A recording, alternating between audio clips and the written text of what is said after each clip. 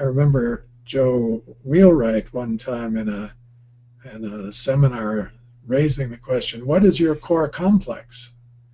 That's what you want to get in there, the core complex. So it takes a while to find out what is your core complex. Is it, uh, for instance, an inferiority complex? Uh, or is it a, um, uh, a wish for paradise complex? Uh, are you a puer or a puella? You want to live in the paradisal world. That's your primary complex. Or is it a rebellion against your parents? Or is it a, um, a victim complex?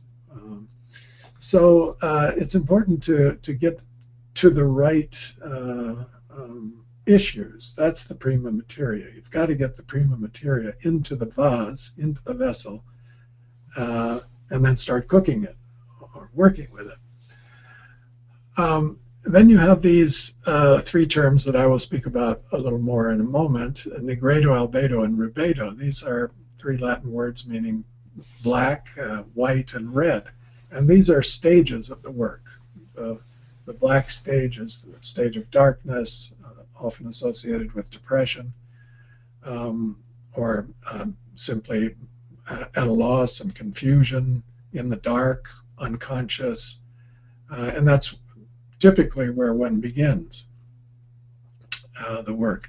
Albedo is the whitening uh, when things uh, in the vessel turn from uh, black to white. That's associated psychologically with um, enlightenment or insight, uh, getting a glimmer of what's going on, what is the meaning, uh, perhaps seeing through the complex to the archetype, getting a, a glimpse of something deeper and then the rubedo is the uh, rising of the sun. This goes from night to dawn to the rising of the sun and uh, the appearance of the sun in the rubedo, the reddening.